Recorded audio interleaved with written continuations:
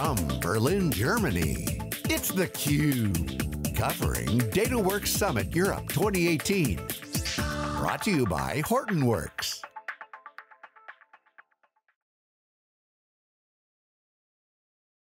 Well, hello and welcome to theCUBE. I'm James Kobielus. I'm the lead analyst for Big Data Analytics with the Wikibon team within SiliconANGLE Media. We are here at uh, the DataWorks Summit uh, 2018 in Berlin, Germany. And I have a special guest, we have a special guest, Bernard Marr, one of the most influential thought leaders in the big data analytics arena. Um, and uh, it's not just me saying that, you look at anybody's rankings. Bernard's usually in the top two or three of influentials. He publishes a lot, he's a great consultant. He keynoted this morning on the main stage at uh, DataWorks Summit. It was a very fascinating uh, discussion, Bernard, and I'm a little bit starstruck because I, I assumed you were this mythical beast who just kept putting out these great books and, and, and, and, uh, and articles and so forth, and I'm glad to have you. So Bernard, I'd like to you to stand back. We are here in, um, in Berlin, in Europe, in, uh, um, this is April of 2018, in five weeks time, the global data, general data protection, it feels global because it sort of is. it the is. general data protection regulation will take full force. Yeah. Um, which means that companies that do business in Europe, in the EU, uh, must, under the law, protect the personal data that they collect uh, on EU citizens, um, ensuring the right to privacy, the right to be forgotten, um, ensuring uh, users, uh, people's ability to withhold consent to process and profile and so forth. So that mandate is coming down very fast and so forth. Um, what, what is your thoughts on, on GDPR? Is it a good thing, Bernard? Is it high time? Is it a burden? Give us your thoughts on, on GDPR currently. Okay, first let me return all the compliments. It's really great to be here. um, I, I think GDPR can be both. And it, for me, it will come down very much to the way it gets implemented. So, um, in principle, for me, it is a good thing because what we, what I've always made companies do and advise them to do is to be completely transparent in the way they're collecting data and using data. I believe that the, the big data world can't thrive if we don't develop this trust and have this transparency. Right. So in principle, it's a great thing.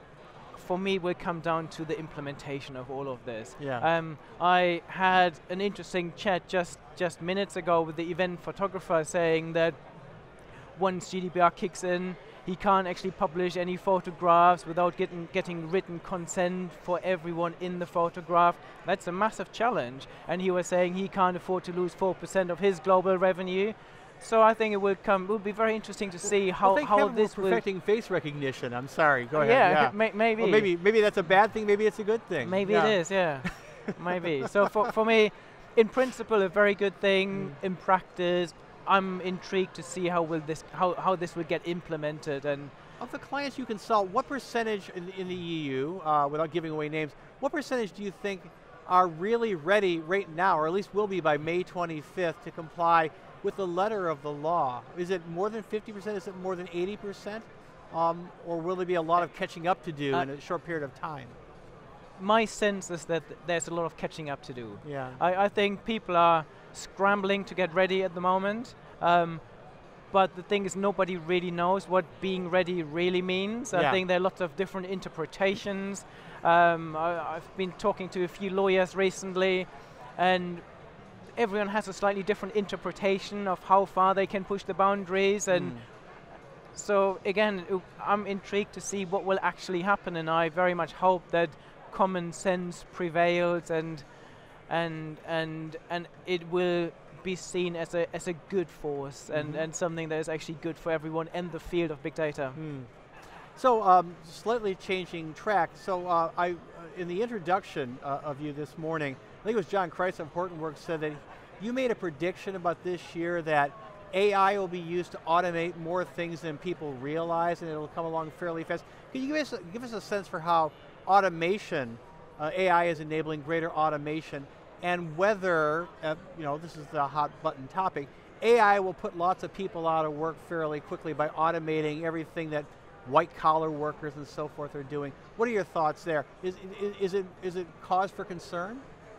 Yes, and it's probably one of the questions I get asked the most, and I wish I had a, a very good answer for it. Um, if we look back at the other industry, I believe that we're experiencing a new industrial revolution at the moment. And if you look at the what the World Economic Forum's CEO and founder Klaus Schwab is preaching about, it is that, that we're experiencing this experiencing this new industrial revolution that will truly transform the workplace and, and our lives. In history, every other, ev every, all of the other three previous industrial revolutions have somehow made our, our lives better, mm -hmm. and we've always found something to do for, mm -hmm. for us, and they've changed the jobs.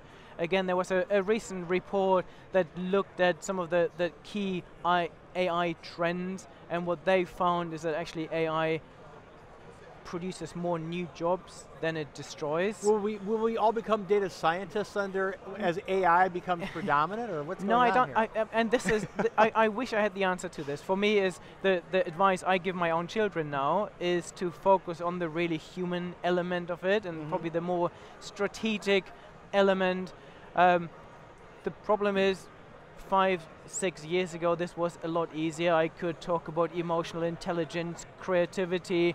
With advances in machine learning, this advice is no longer true. And, and lots of jobs, even some of the, the things I do, I write for Forbes on a regular basis.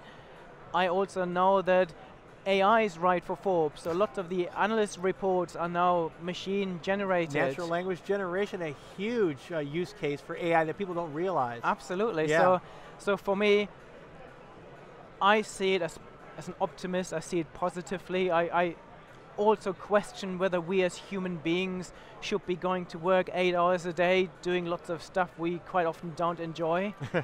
so for me, mm the challenge is adjusting our economic model to, to this new reality, and mm. I, I see that there will be significant disruption over the next 20 years that, that, that with all of this technology coming in and, and really challenging our jobs. Will AI put you and me out of a job? In other words, will it put the analysts and the, the consultants out of work and allow people to get expert uh, advice on how to manage technology without having to go yeah. through somebody like a you or me? Absolutely. For, for me, my favorite example is looking at, at medicine. If you look at doctors, traditionally you send a doctor to medical school for seven years, you then hope that they retain 10% of what they've learned if you're lucky, mm. then they gain some experience, you then turn up in their practice with your conditions. Again, if you're super lucky, they might have skim read some of your previous conditions, mm -hmm. and then diagnose you, and unless you have something that is very common, the chance that they get this right is very low. So compare this with your old stomping ground IBM's Watson. So that they they are able to feed all medical knowledge into that that right. that that cognitive computing platform. They can update this um, continuously, and you think, and I could then talk to Watson eight hours a day if I wanted to. But can you trust that symptoms. advice? Why should you trust the advice that's coming from a bot? Yeah, that's the that's one of the key issues. Absolutely, and I, I, I think at the moment, maybe not quite because there's still a human element that a doctor can bring because they can read your emotions, they can understand your tone of voice. Mm -hmm. This is going to change with um, affective computing and the ability for machines to do more of this too. Well, science fiction authors run amok, of course, because they imagine the end state of perfection of all these capabilities like you're describing. So we perfect robotics, we perfect emotion uh, analytics and so forth. We use uh, uh, machine learning to drive uh, conversational UIs. Clearly, a lot of people imagine that the technology, all those technologies are perfected or close to it. So you know. But clearly, you and I know that it's a lot of work to and do I to and get them. And, and we both have been in the technology space long enough to know that there are promises, and there's lots of hype, and then there's a lot of disappointment. Yeah. And it usually takes longer than most people predict. So I, what I'm seeing is that every industry I work in, this is what's mm. my, what's my prediction is that automation is happening across every industry I work in. More things, even things that I thought five years ago couldn't be automated. But to get to a state where it really transforms our world, I think we're still, still a few years away from that. Bernard, you know, in terms of the hype factor for AI, it's, it's, it's out of sight. What do you think is the most hyped uh, um, technology or application under the big umbrella of AI right now in terms of the hype far exceeds the utility. Um, I don't want to put words in your mouth, I've got some ideas. Your thoughts? lots of them. I, I, think that the two areas I write a lot about and talk to companies a lot about is deep learning, machine learning, yeah. and blockchain technology. Blockchain. So they, they are, for me, two where they have huge potential some amazing use cases. At the same time, the hype is far ahead yeah. of, of reality. There's sort of an intersection between AI and blockchain right now, but it's kind of tentative. Hey Bernard, we are at the end of this segment. It's been so great, we could just keep going on I know, I know, we could just be... Uh, yeah, there's a lot I've, I've been wanting to ask you for a long time. I want to thank you for coming to theCUBE. Pleasure. Um, this has been Bernard Marr, I'm James Kobielus uh, on theCUBE from DataWorks Summit in Berlin, and we'll be back with another guest in just a little while. Thank you very much.